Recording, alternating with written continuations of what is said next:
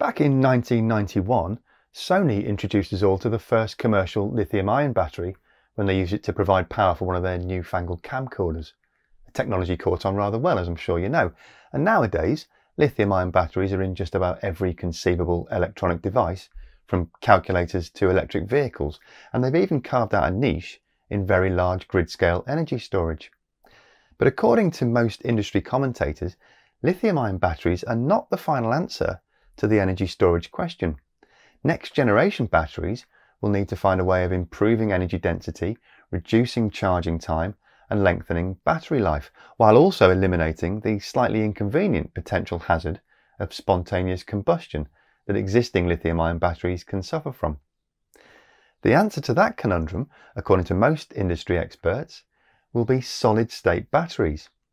But it's a technology that's not generally expected to come to market until the latter part of this decade at the very earliest. At least that was the accepted wisdom until recently.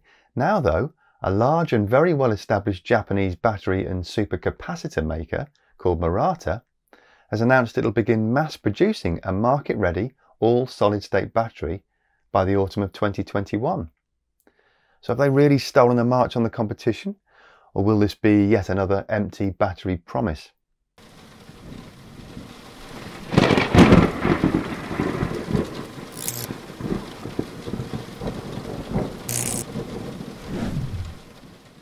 Hello and welcome to Just Have a Think. There's an awful lot of industry and media excitement around solid state batteries at the moment. Well, to be more accurate, there's been an awful lot of industry and media excitement around solid state batteries for about the last decade or so.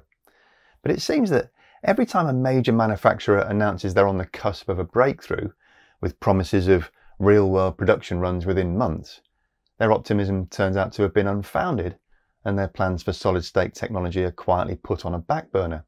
Happened with Fisker, who originally promised a supercar powered by a solid state battery by 2020, then said it would be delayed until 2022, and now they've dropped the idea altogether. It happened with Dyson, who bought a Michigan based solid state battery company called Sakti 3 in 2015 and spent billions developing its own electric vehicle before canning the project altogether writing off all that investment capital and parting ways with Sakti 3's founder, Marie Sastry, in 2017. The list of companies vying to be the first to market with a workable solid state battery is lengthy, but none of them look like getting anything into real world production until 2025 at the very earliest. So, why is that? Well, it turns out that solid state batteries are proving to be devilishly difficult things to develop. The basic principle seems straightforward enough and looks very attractive when compared directly to a traditional lithium ion battery. Lithium ion technology makes use of an electrochemical reaction. Inside each battery, there are two electrodes, a negatively charged anode, typically made of graphite, and a positively charged cathode, made of some combination of lithium and other elements. The two electrodes are separated by a liquid electrolyte solution with a semi-permeable membrane in the center acting as a separator between negative and positive. As the battery charges up, electrons flow from the cathode out across the external power source and back to the anode. That causes the cathode to release its lithium ions, which move to the anode by flowing across the electrolyte and passing through the semi-permeable membrane. When a fully charged lithium ion battery is connected up to a device, electrons flow out from the anode through the connected device and back to the cathode, causing the lithium ions to flow back across the electrolyte. Once all the ions have made that journey, electrons stop flowing and you've got a flat battery. Lithium ion batteries are an attractive option because lithium is the most electropositive element, which means it very easily gives up its negative electrons to produce positive ions. Lithium is also the lightest of all the metals, so lithium ion batteries are much lighter than lead acid batteries and have a much higher energy density. Those are extremely useful qualities, whether you're making a mobile phone or an electric vehicle. But the useful reactivity of lithium also has its downside. No doubt you've heard of the dreaded dendrite issue, for example. Over time, deposits of lithium ions can build up on the face of the anode, forming spikes that can eventually puncture the separator. If they manage to get all the way across to the cathode, then you get a short circuit, an instant discharge of a very reactive material into a volatile and highly flammable liquid electrolyte, which is something you definitely don't want. The result could be a nasty swollen battery pouch that has to be replaced, or if you're really unlucky, you could find yourself with a small incendiary device going off in your trouser pocket. Solid state batteries remove that problem by using a solid electrolyte instead of liquid, hence the name. That makes the whole battery much safer. It also makes it much more compact with a much higher energy density, perhaps as much as three times that of a standard lithium ion battery.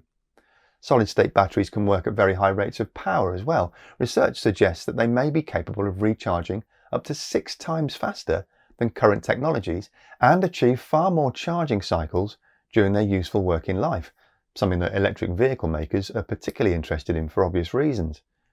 And because they don't have that volatile and highly flammable liquid electrolyte, they no longer need the cumbersome battery management systems that add weight and cost to existing lithium ion batteries. They've actually been in existence for longer than you might think. They first got used in pacemakers for heart patients way back in the 1970s. A sheet of lithium metal is placed in direct contact with solid iodine. That effectively causes a short circuit and forms a new layer of lithium iodide between them. Once that layer is formed, a tiny but constant current can still flow from the lithium anode to the iodine cathode for several years making it ideal to keep a dodgy ticker beating reliably. In 2011, Toyota made a breakthrough with a solid sulfide based material that had the same ionic conductivity as a liquid electrolyte, and ever since then, the race has been on to perfect the technology. It's proving to be a technically very difficult challenge though. Studies on sulfides for electric vehicle batteries have suggested that if the battery packs were breached in some way and the sulfide escaped, it'd produce a very unhealthy gas when exposed to air.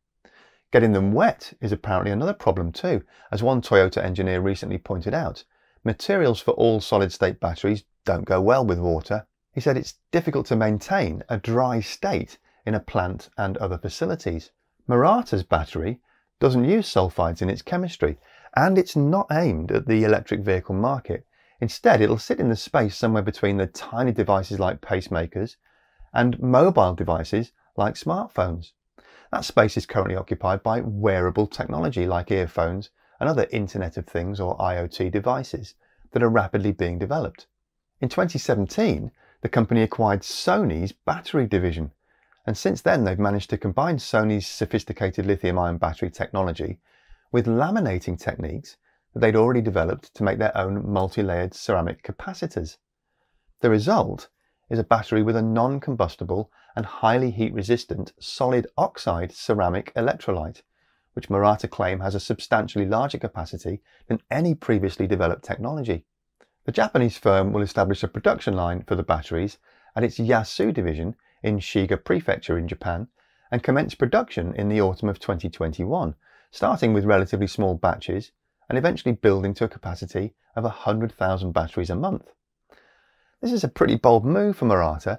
They're sinking a huge amount of upfront capital into the project and will almost certainly make no profit on the product for some time.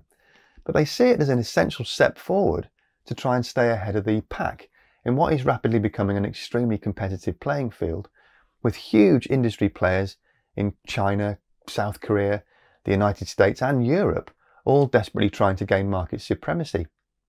The real holy grail though, the tantalizingly elusive megabucks goal that keeps all major R&D departments furiously working away all over the world, is of course a truly affordable, mass-produced, solid-state battery for electric vehicles. If such a thing ever comes to market, it'll be so disruptive to the auto industry that it'll most likely accelerate the demise of internal combustion engines and really kickstart the revolution of fossil-free global transport. Not difficult to see why it's such an enticing prize, but putting the corporate head above a well-targeted public parapet has so far proven to be a dangerous and costly gamble, and not just for Fisker and Dyson either. The US battery maker QuantumScape has also fallen foul of its own ambition recently. The company's been widely touted as the most likely contender in the pioneering world of solid-state batteries. In November 2020, the business was floated on the New York Stock Exchange to great acclaim. They announced that they'd created fire resistant test batteries that were good for 80% capacity even after 1100 cycles. That translates to a 300 mile battery pack with an operational lifetime of 300,000 miles, or a 500 mile battery pack that's good for half a million miles. It all sounded absolutely splendid, and the stock price leapt up by 256% in just one month. Bill Gates invested, and the word on the street was that QuantumScape was poised to become one of the most valuable stocks in the auto industry, even rivaling Tesla. But then, an independent report was published on a crowdsourced financial information platform called Seeking Alpha. It suggested that QuantumScape's batteries were actually smaller than an iWatch battery and had never been tested outside a lab. The report concluded that the batteries were unlikely to ever achieve the performance the company claimed. That news didn't sit well with investors, and the stock price promptly dropped off a cliff. Despite insisting that the Seeking Alpha story had no merit, QuantumScape did have to concede that their batteries are still in the development stage, with results so far coming only from tests on small prototypes, not full packs. They're now facing a class action lawsuit from a New York law firm on behalf of very disgruntled investors who've watched their shares drop 70% in value in recent months. Toyota have been at the forefront of solid state battery development ever since that 2011 sulfide breakthrough that I mentioned earlier. They've got over a thousand patents involving solid state batteries, and right now they're looking like they might just be the first to market in the EV sector. The Japanese government has been encouraging the domestic development of solid state batteries as part of a $19 billion state fund designed to fast track decarbonisation technologies.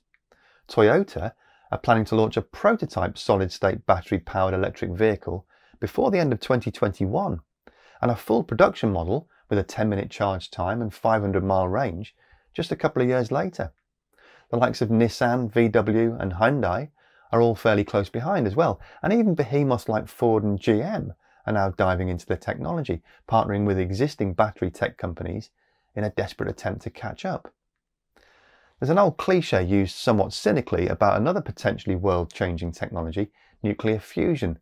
They say it's only 30 years away from reality and always will be. Let's hope the same satire won't be directed at solid state batteries because if someone does actually nail it, then the road to global decarbonisation will suddenly look a lot less long and winding. So, what's your view? Do you think solid state batteries are a realistic prospect or just more media hype from the big automakers? why not dive down to the comment section below and let me know your thoughts there. That's it for this week though. A big thank you, as always, to the folks who make these videos possible by supporting my work via Patreon. They allow me to remain completely independent and they enable me to keep all my videos totally ad free. And I must just give a quick shout out to those people who've joined recently with pledges of $10 or more a month. They are James Connor, Fro Gonerfri, Sonia Relf, Oleg Velka, Julian Eiler, the Locke family down under, Andrew Galashan, and Lucas Lund. And of course, a big thank you to everyone else who's joined since last time too.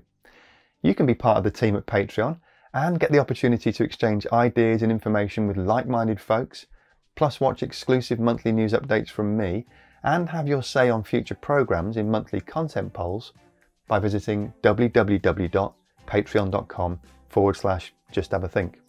And you can hugely support the channel absolutely for free by subscribing and hitting that like button and notification bell. Dead easy to do all that.